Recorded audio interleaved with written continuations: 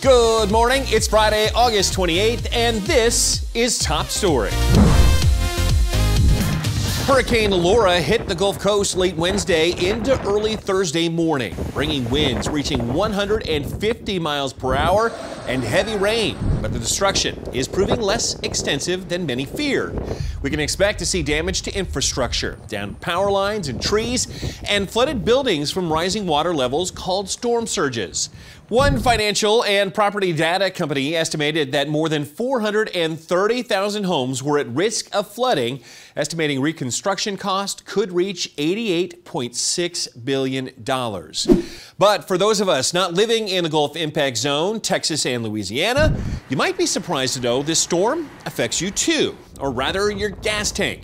About half of the United States refineries sit along the Gulf Coast in low-lying regions, and half of these fell within Laura's projected path, causing gas prices to rise in anticipation.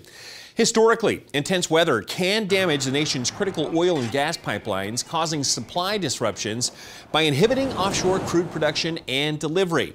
But due to COVID 19, transportation fuel isn't in high demand and energy markets are sitting on a comfortable supply all around the storm was less severe than reports first led us to believe, but damaging winds and flooding remain a concern until it pushes off the eastern coast over the weekend.